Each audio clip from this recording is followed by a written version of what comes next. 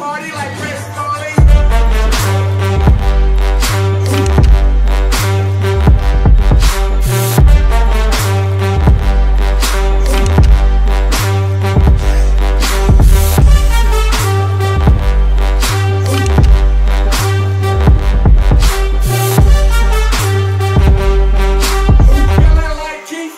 Shrooms in my dressing room.